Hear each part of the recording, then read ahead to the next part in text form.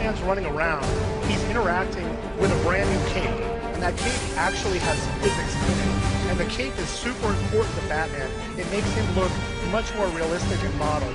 Um, the next thing you'll notice when Batman runs around, this is with PhysX on. The environment looks cool and it's got that nice Batman look to it, but it's a little bit flat. Now with PhysX on, what you're going to see is all of this kind of atmospheric fog.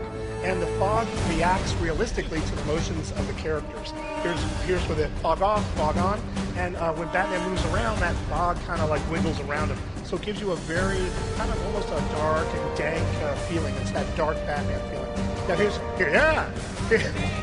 Here's another example. Uh, what, what's happening on the bottom is the fog is reacting to the geometry of the building. So it, it's not just animated, it's actually simulated next to the building.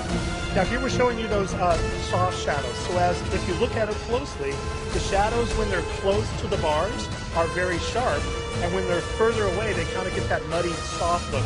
Here's what it's without, and this is with it with it on. So you can get that sense of much more atmospheric, much more realistic, a lot more, you know, Gotham City, right? Now, uh, this game takes place in uh, a critical time. It's the winter time. It's actually Christmas. And what you can see is the, the snow and the weather effects are key. So in this scene, we're showing you particle effects that are the snow. And uh, you can see how that little white stuff almost uh, kind of makes it look glistery. That all reacts to Batman's motion. So again, it's that particle simulation that gives it that extra sense of reality. In this scene, we're showing you tessellation. So as Batman walks around, he's deforming the snow and with uh, tessellation on, that translates into real geometry. And geometry we can cast shadows on. So that's what you're seeing here. That's a real shadow of a footprint in the snow from Batman. It's really crazy. It's crazy.